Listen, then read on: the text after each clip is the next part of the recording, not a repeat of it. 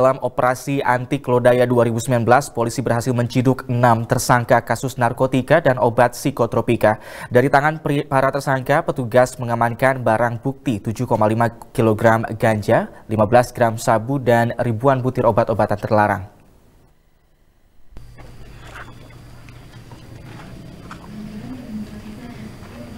Inilah keenam tersangka kasus pengedar barang haram narkoba dan obat-obatan psikotropika yang diciduk Satuan Reserse Narkoba Polres Kota Bandung dalam operasi Antik 2019 yang digelar selama 10 hari mulai dari tanggal 21 sampai 30 November lalu.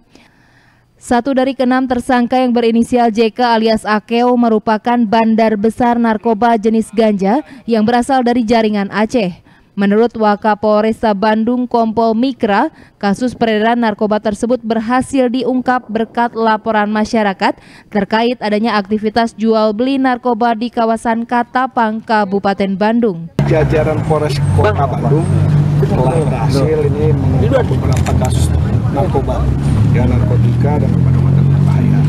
Ini adalah berkat informasi dari masyarakat bersama dengan pihak kepolisian.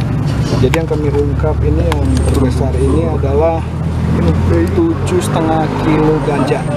Ya, ini kita melakukan tim berdasarkan kita peroleh informasi dari masyarakat bahwa di daerah Kabupaten Bandung khususnya Katapang sekitarnya ada pedagang ganja ini tadi kita ikuti lebih kurang hampir satu minggu dan kita berhasil mengungkap dengan BB yang ada di tadi. Dari tangan para tersangka, petugas mengamankan barang bukti 7, kg ganja, 15 paket sabu-sabu, serta ribuan butir obat terlarang golongan 4.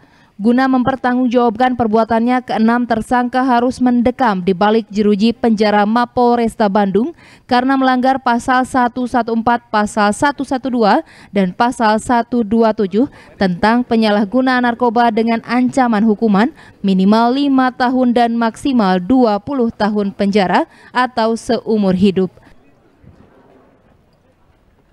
Rezitia Prasaja, Bandung TV